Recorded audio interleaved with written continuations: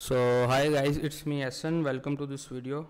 Today our topic is how to hide all Facebook photos. So let's get started. Uh, first of all open Google Chrome.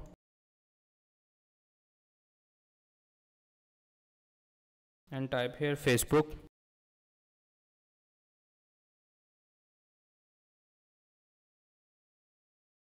After that click on first link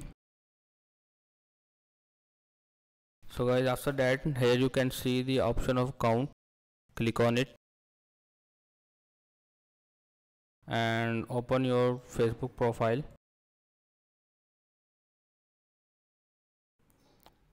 And here you can see your facebook photos.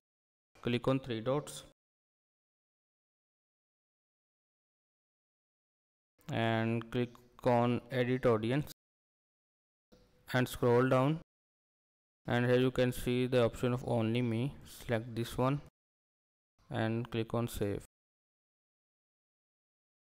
So guys after this process no one can see your google photos. So guys you want to hide your all google photos. So by doing this process so it takes lots of times. So guys here i'm going to show you one click method.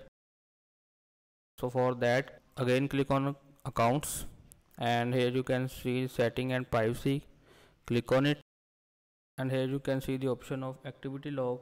Click on it. And now here you can see your posts.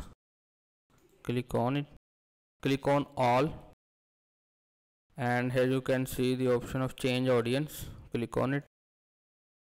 And here you can see the option of only me.